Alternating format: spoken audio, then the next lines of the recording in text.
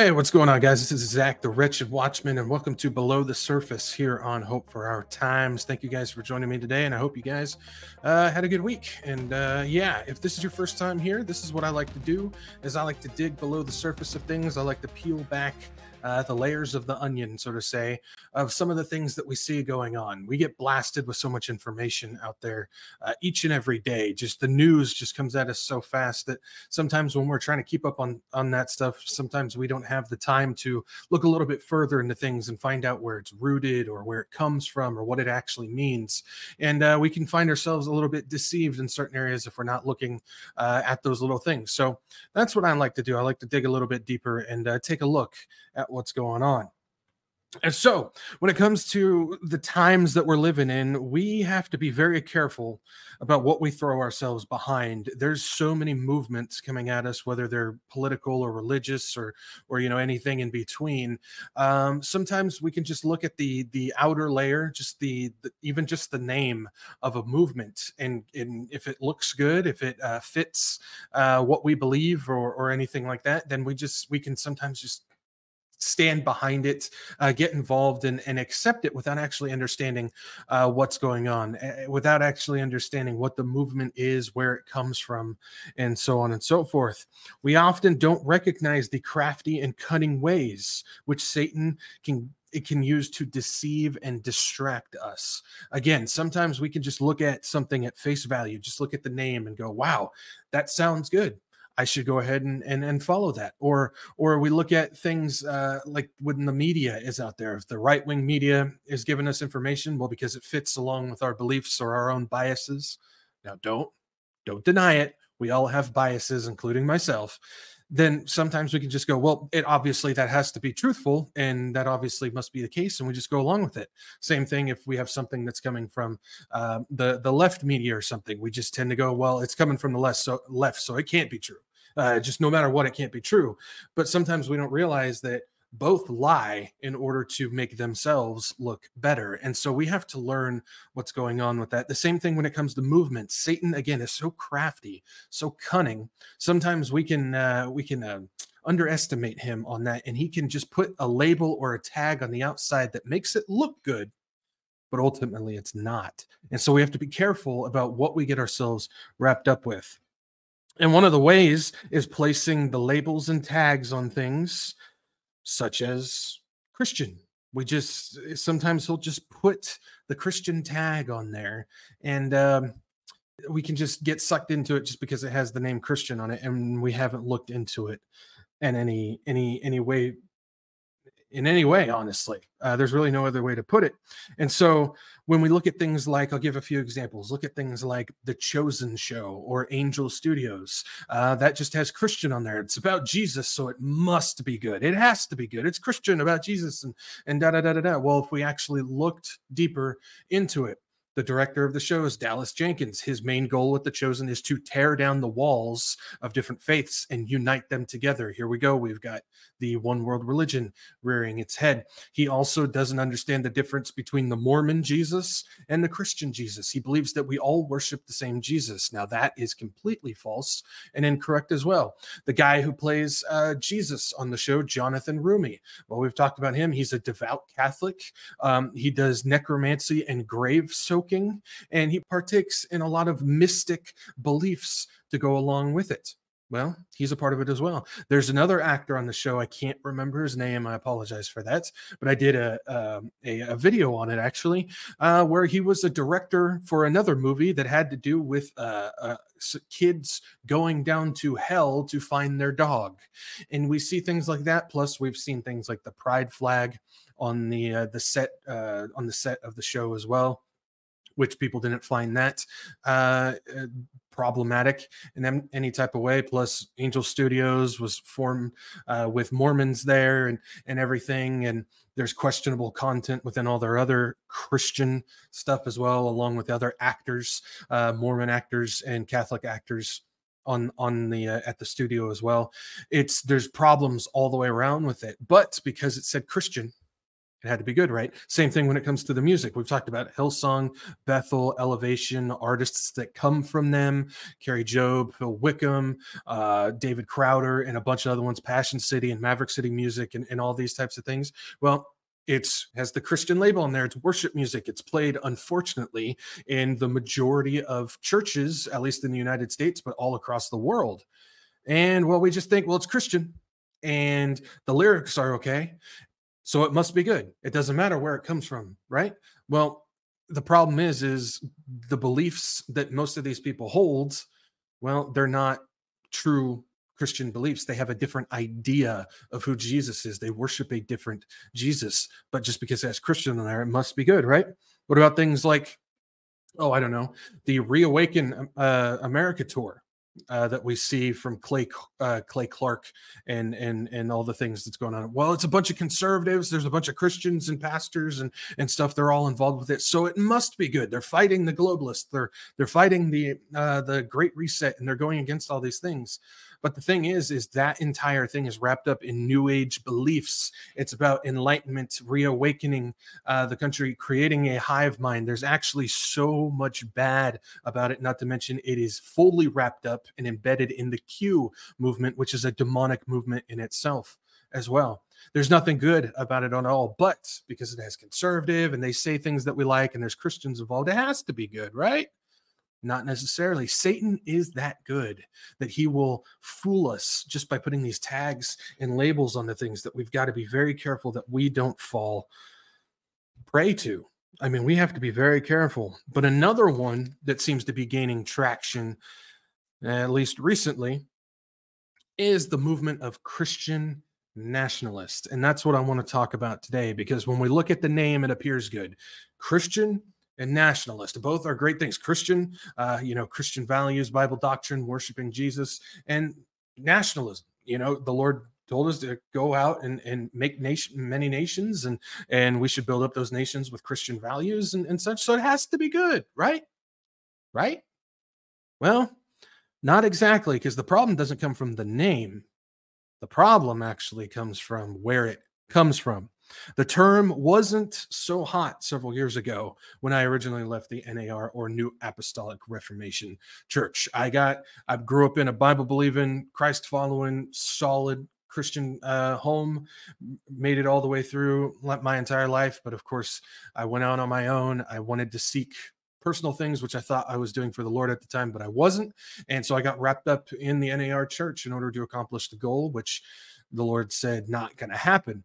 But when I left the NAR church, there's a bunch of research that the Lord led me to do. And along the way, one of them was the term Christian nationalist before it was something of a hot button term like today. The roots of Christian nationalism actually come from the dominionism or dominion theology, kingdom now, the New Apostolic Reformation, and the Seven Mountain Mandates movements. That is a, what it really is a part of. That's what it's rooted in. But we can get caught up again. It's we can't put it past Satan on what he does. You look at the name Christian nationalist, it must be good. Plus, we have the fact of you have the left wing media that is using it as they've weaponized it. They're using it as a weapon in order to attack Christian principles, to attack Jesus, to attack the doctrine. But ultimately, we look at that and go, well, they're attacking it. So obviously, I must stand behind it. Well, we can't do that either because when they're attacking it, they are using the world's term of Christian, which means Catholic and Mormon, Jehovah's Witnesses, Lutheran, and a whole bunch of other ones that all believe in a false religion. And they're trying to combine it all together with Christianity, which again, we start getting into the one world religion aspect of that. That well, the left is using it as a as a bad term against the Christians, and they mean all encompassing, but we're not going to look at that. I'm just going to stand behind it and stand in support of it. It's trickery. And sometimes we can get caught up into that when we really shouldn't. So, what is dominionism? What is kingdom now? What is NAR? What is seven mountain mandate? What is what is all this stuff? Are they bad things? Are they good things? Well, let's let's just break it down. We see those terms often get thrown around, but we don't necessarily know what they are. I mean, we have an idea, but not necessarily. start with dominionism. Dominionism or dominion theology is a theology based on Genesis 128 taken out of context of course. And what it basically says is it's to subdue the earth and have dominion over everything that moves on the earth.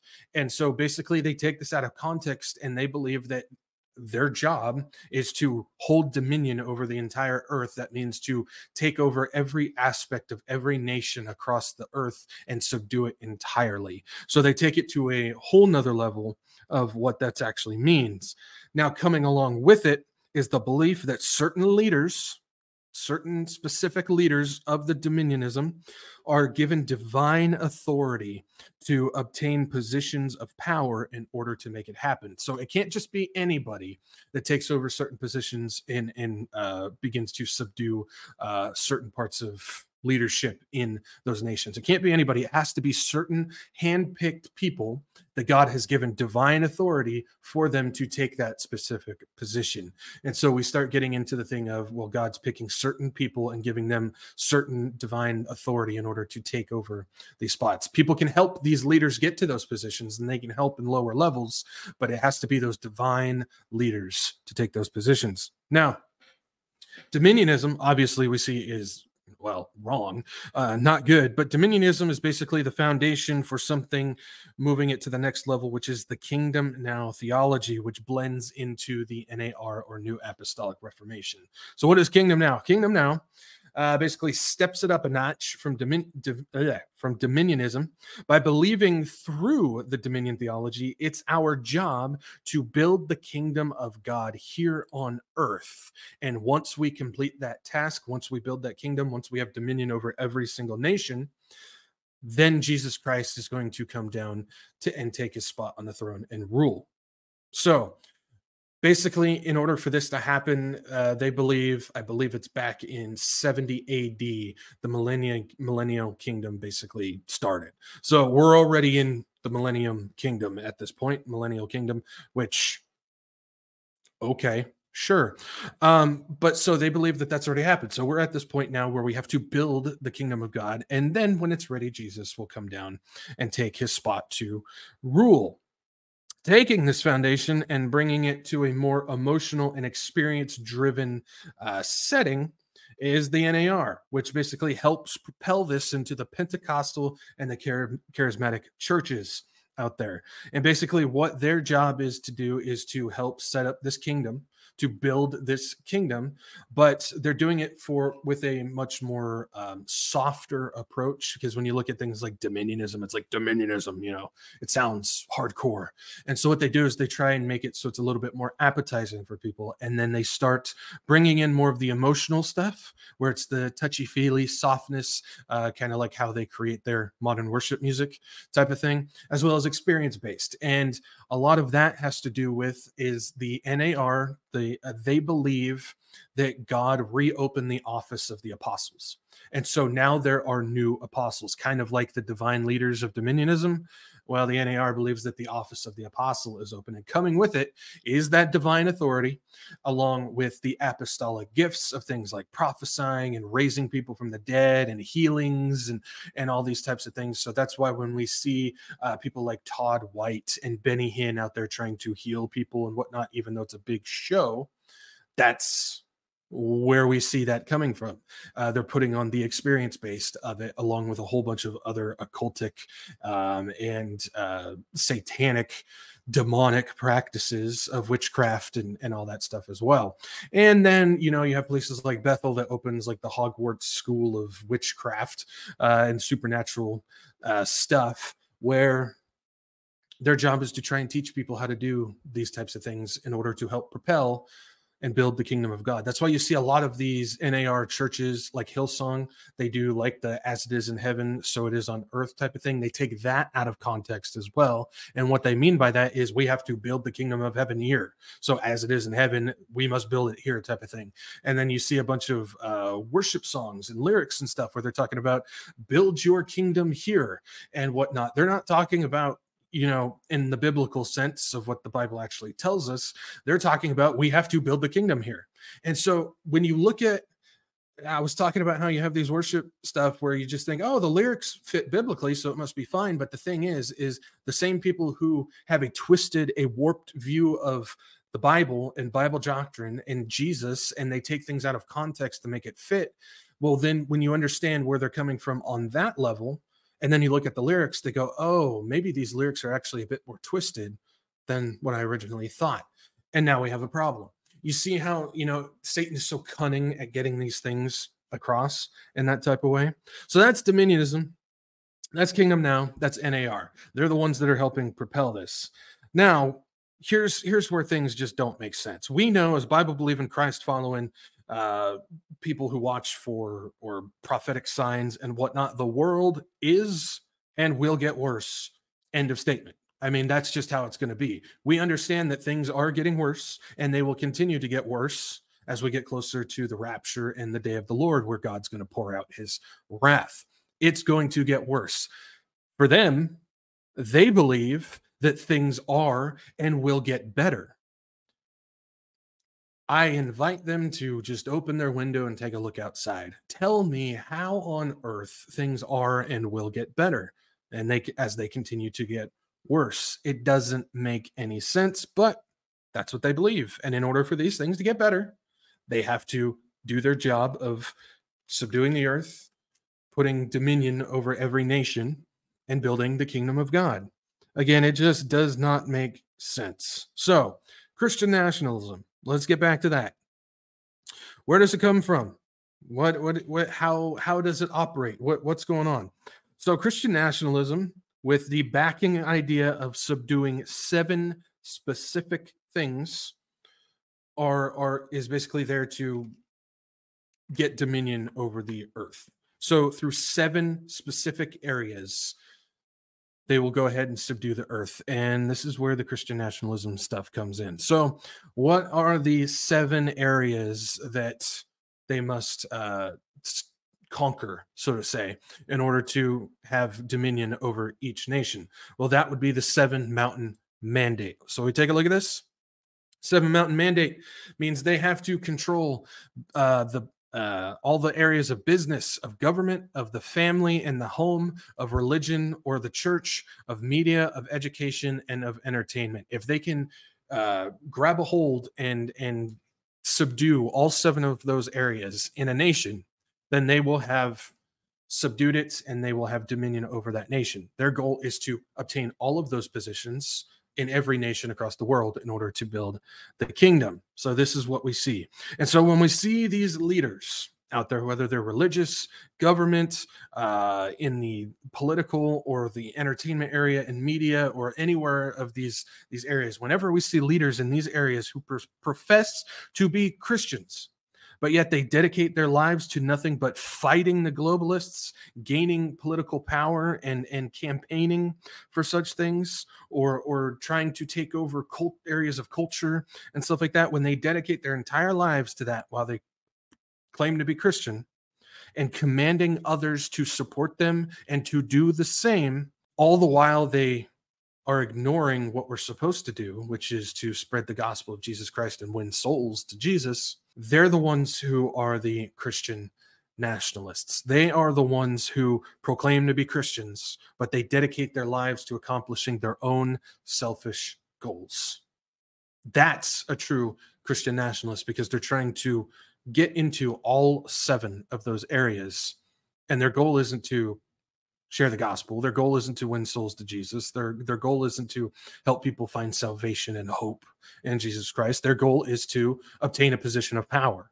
And they want you to help them do that whether it's voting or financial backing or campaigning or any any type of thing that you want to do. Their goals again are not to win souls, but their goals are to use Christians, churches and the name of Jesus to accomplish their own selfish goals. Be warned of people that fall into this camp. People like Sean Feucht and Greg Locke, Paula White, Amanda Grace, all their connections to the NAR, to the mystic, to the occultic, and all those things. Be warned of people like Michael Flynn with his connection to theosophy and the Q movement, and be cautious of those who only stand on Christian principles when it benefits them in their campaign. But then all of a sudden they'll bend and push those Christian principles aside in order to obtain the support of those that don't follow the same belief system. I'm sure you can think of a few that fit the bill. I know I can. I'm sure you can think of a few. All these people are seeking for man to save them. They're looking to awaken the nation, which is a new age term of reaching enlightenment to build a hive mind to awaken the nation.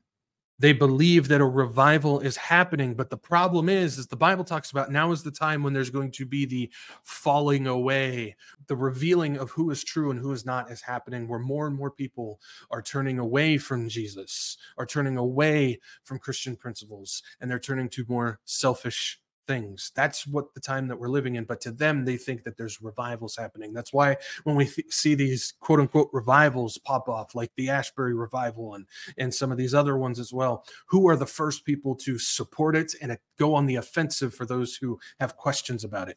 It's the Christian nationalists because they believe that that is fitting their desires, their campaign, their beliefs of dominionism. They are preparing for the Antichrist, just like everybody else in this world is. They're looking for a man, a leader, a political savior to step on the scene and to help fix the problems. Well, for us who read the Bible, we understand that that next one that's going to step up to do that is going to be the Antichrist. And they're ready to go. They've got the mindset ready to accept him.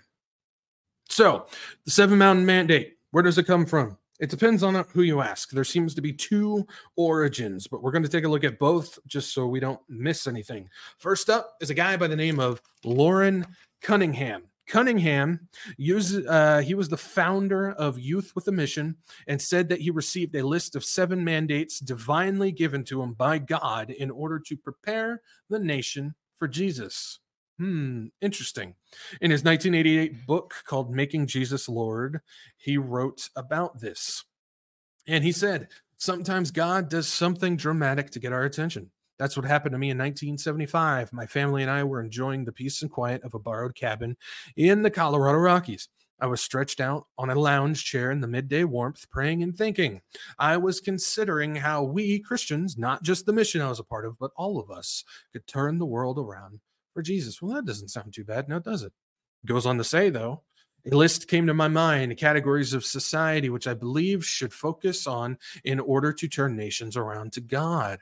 I wrote them down and stuck them in the uh, the paper in my pocket. The next day, I met with a dear brother, the leader of Campus Crusade for Christ, Dr. Bill Bright. We'll get to him in just a second. He shared with me something God had given him as well, several areas to concentrate on to turn the nations back to God. Oh, how convenient. They were the same areas with different wording here and there that were written on the page in my pocket. I took it out and showed Bill, and we shook our heads in amazement. Now, it's important to understand that sometimes we, whenever we see something like this, we automatically think it has to be from God, but we have seen things in the past things like Helena Blavatsky and Alice Bailey and Napoleon Hill and and several others, a bunch of others actually, where they all thought it was something divinely given to them by God, but ultimately it was demonic in nature. We have to understand that Satan is able to do these these signs and wonders and, and give illusions and whatnot. We have to be very careful that we truly understand if it's from God or from Satan. And in this case, when we look at the seven mountain mandate, we know that this is not from God, unlike what they believe, though. This list is supposedly that seven mountain mandate that God gave both Cunningham and Bill Bright. So, who's Bill Bright? Let's take a look. Bill Bright was the founder of Campus Crusade for Christ, as he said in the book, and was also influenced by Billy Graham. Besides the divine instruction, apparently, of the seven mountain mandate, my concerns extend further with his Templeton Prize winnings for progress in religion. This comes from John Templeton, who was one who was trying to uh, help fund and give grants and money and support for people who were trying to unite faiths to create a one world religion uh, because he didn't believe that there was one way to heaven and he wanted to progress to change and evolve religion into one uniting faith, the one world religion. And Bill Bright was a winner of one of his awards. Let's just take a look. Established in 1972, the Templeton Prize was celebrated uh, was celebrated investor Sir John Templeton's first major philanthropic venture. He created the Templeton Prize because he wanted to recognize discoveries that yielded new insights about religion, and he set the award amount above the Nobel Prize in order to recognize the importance of what he called progress in religion to move it forward, to change it. Remember, God never changes, and neither does his word. His understanding of progress in religion evolved during his lifetime and is shown in the variety among the 53 laureates who have received the prize. Winners have come from all major faiths and dozens of countries that have included Nobel Prize winners, philosophers, the- theoretical physicists, and one canonized saint. Hmm, interesting. Throughout the decades, the prize always reflected Sir John's core conviction that there is a deeper level of reality or enlightenment, new knowledge, uh, Gnostic belief, esoteric. That's the best way to put that, a deeper, deeper level of reality that can be accessed through rigorous research, especially in the sciences. Hmm. For the first few decades of the prize, HRH Prince Philip presented the award, and distinguished leaders such as the Dalai Lama, uh, Margaret Thatcher, and Presidents George H.W. Bush and Gerald Ford served as judges. Yes, those were the same people who were judging on the progress in religion. Concerning, isn't it? Who are some of the award winners of this thing, you ask? Let's take a look. Mother Teresa, hmm, Billy Graham. Oh, really? There's Bill Bright, and then there is the Dalai Lama. There's a bunch of other ones on there. They they all range from uh, metaphysical uh, uh, believers to uh, psychologists to Catholics to Hindus and Buddhists, and and so, I mean it, the landscape is large, and they all won prizes from John Templeton because he believed that those people were helping progress towards the one world religion. Interesting, isn't it? And there's Bill Bright, one of the people who apparently said that God gave him the seven mountain mandate. Interesting. Very interesting. So let's go ahead and jump over to the next origin, shall we? It comes from a guy by the name of Lance Wallnau. Wallnau also said that the seven mount, uh, the seven mandates were divinely given, uh, just like Cunningham and Bright. Let's see what else Wallnau says on his blog. Now, this is what he wrote on his own blog. And it says, nearly 20 years ago, I began to hear God tell me about the seven mountains and a movement that was coming. I fell out of rhythm with the revival theme, but I knew the seven mountain mandate or the seven mountain message had the power to change everything when properly understood. I believe that the reason God entrusted me with the Seven Mountain me- message is because of something Kim Clement taught about hearing God's voice. If you guys don't know Kim Clement, he was one who was a false prophet. He claimed that he received all these different visions and and uh, divine revelation, new revelation uh, from God, which we understand the book of Revelation says, "Curse." anyone or um, adds or removes from this book shall be cursed and uh, that's basically kim said no i'm getting extra revelation extra prophecy uh, from god which that is not happening. Now some people say that he repented at the end of his life. I certainly hope so. I don't want anybody to go to hell. And so i hope that he repented and he came to a true salvation through jesus. But that does not mean that all of the false prophecy work that he was doing beforehand is still not making waves across the world as we see right now.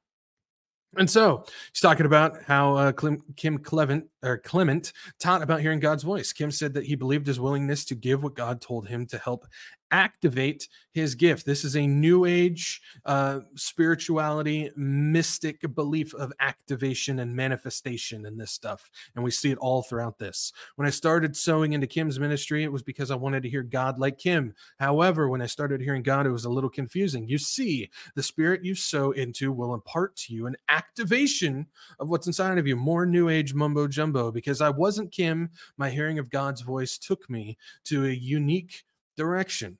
And we can go through here, and he's talk and he was talking about how God uh, he started asking God for a specific amount of money uh, to put in when Kim was preaching and Anna, Annabelle was with him, started challenging him. And then all of a sudden they started getting the same numbers and they believed that it was, uh, you know, something, uh, a message, a sign from God. And then Lance Wallnau started working into uh, working on Kim's ministry and started teaching at his church and everything like that. But then if we go to the bottom, it says, after reading this, uh, reading this years ago, I realized that I was caused, uh, called to communicate or connect with the teaching by sowing into the anointing.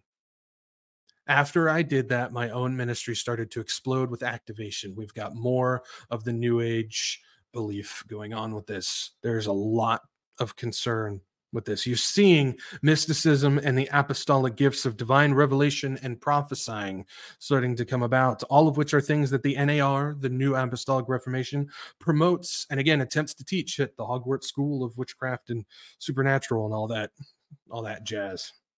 Let's take a look a little bit further of uh, Wal- uh, Wallnau's biography on his website. It says Lance Wallnau uh, USA Today described him as one of only three evangelical leaders to accurately predict Donald Trump's presidency from the moment he began his campaign. We got some Christian nationalism popping up here, guys. His best selling book, God's Chaos Candidate, which is about Trump, of course, broadcasts and viral media influenced three to five million undecided evangelical voters his prediction that Trump would be the modern day Cyrus, ooh, interesting, was challenged by left wing news outlets, but vindicated on March 5th, 2018, the day that Prime Minister Netanyahu met with President Trump at the White House to thank him for his historic embassy decision, linking him to Cyrus. Hmm, the New York Times op ed quoted Lance Could Trump be God's Cyrus? A lot of concerning things. Uh, Dr. Wallnau is a strate- uh, strategist, futurist, and compelling communicator who has uh, shared platforms with Ben Carson, Mike Pompeo, and best-selling authors Ken, uh, Ken Blanchard and John Maxwell. He has conducted training for the United Nations. That's concerning. Spoken at Harvard, not good. The Chinese Academy of Social Sciences, China, and the London School of Theology. Hmm. With a 30 year background consulting business and nonprofits, Lance students represent a global tapestry spanning governments, CEOs, entertainers, and entrepreneurs. That's right. Reach those seven mountains with your dominion theology. Hmm. A lot of concerns. There's more though. If we jump over to the International School of Ministry, or also known as ISOM, we'll see Wallnau has a class designed specifically for the Seven Mountain Mandate. That's right. You can get taught about the Seven Mountain Mandate straight from Mr. Wallnau himself. But don't worry, there are plenty of wonderful sound teachers at ISOM, like Joyce Meyer and Perry Stone, Christine Caine, Gloria Copeland, and the uh, original Hillsong musician uh, leader, Darlene Zschech. Wow, we got some some class act there. That's sarcasm, guys. Just just going, just making sure you all understand what's going on with that. You'll also find a dedicated course on ISOM about the NAR directly, where you'll learn things about the new apostolic reformation, about dominion theology, the apostolic governance. Hey, there's the office of the apostle again, the office of the prophet. That's right aligning with God's will and exercising dominion, understanding the kingdom of God's teaching and relevance, the role of apostles and apostolic alignment, acquiring your own divine power and fulfilling your unique role, making disciples of nations, and on and on and on and on it goes. You see the problem? Do you see this how this isn't good? This is where Christian nationalism comes from, guys. Just because the name looks good does not mean that we need to be backing it. We tend to jump the gun on some of this stuff. We tend to just look at the surface level. We tend to just look at the name. And just because maybe somebody that we don't like is using it as a weapon or somebody that we do like is promoting it, we just naturally go along with it. But we have to look further into these things. Now, if you want to know more about this, you can head over to my channel, and I've got a podcast called Seven Mountains where I go even further and even deeper um, into this to give you more uh, uh, information about what it comes from. But we really got to understand that just because it looks good, just because it has the tag of Christian, or it fits our own personal beliefs and biases, does not mean that Satan is not using it as a way to deceive and distract. And Christian nationalism is certainly one of those things. Our goal as Bible believing Christ followers, we understand that it, things are going to get worse. Now we have to stand for righteousness, obviously, but our goal should not to try and get dominion in all of these areas. Our goal, specifically, that God commands us, our blessed generation, is to do two things: is to warn people of what is coming and to warn people of stuff like this, and most importantly, spread the gospel of Jesus Christ.